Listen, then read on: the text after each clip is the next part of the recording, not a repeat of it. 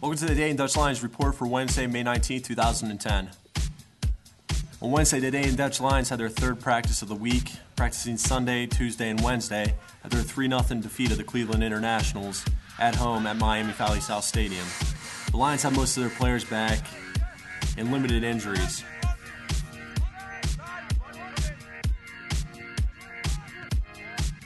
The Dutch Lions are in preparation for their first away trip as they'll travel to face off against the Michigan Bucks, one of the best teams last year in this PDL Great Lakes division.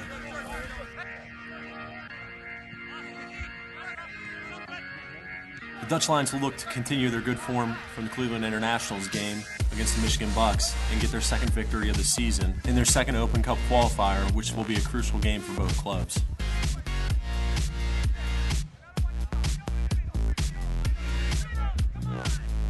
As per usual, the Dutch Lions will focus on their attack as well as improved defense.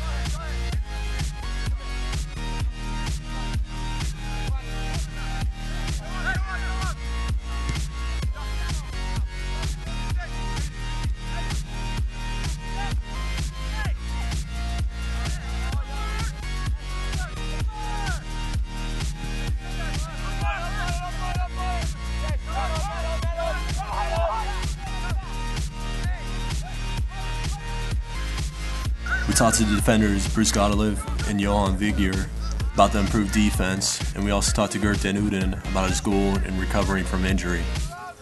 Uh, last week the organization wasn't that good. Uh, last Saturday the, defense were standing much more better, and uh, when the organization is good, you get no uh, uh, less chances against you, and with Oscar behind you, they they can score.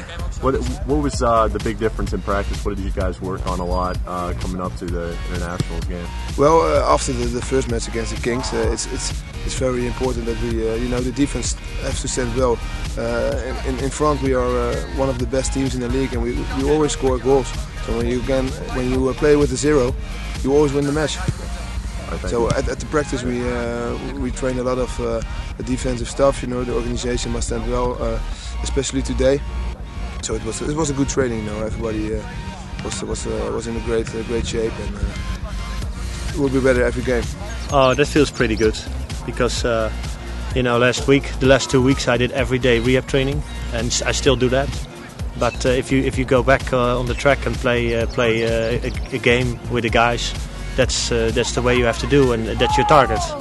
And when, when you find out that it feels good and score a goal, then uh, yeah, I'm happy. I'm uh, happy to be back again. Yeah. And that was kind of a, a, cheeky flick there. What was going through your mind when you you had that breakaway? What were you thinking about uh, when you like chipped them? Uh, like last week, you know. Yeah. Uh, yeah, you know that's that's typical uh, striker's goal, you know, because -huh. you know my thing is always in my whole career I looked I look to goalkeepers how they act in in the areas in the box area, and yeah, you know, if the ball is good, because that's very important. Ivar gave me a great ball, gave me a great ball, so I had uh, I had options to uh, to what do whatever I want to do, and uh, the goalkeeper went to the ground because of my, one of my moves, so it was easy to chip him. So uh, yeah, it was good. a nice goal. Uh, better in the defense this week compared to the first week. Well, I think uh, the organization was better. Um, we played a little bit more tight. So we didn't give a lot of spaces uh, to the opponents, and that's why we had a clean sheet. So it was better than the uh, week before.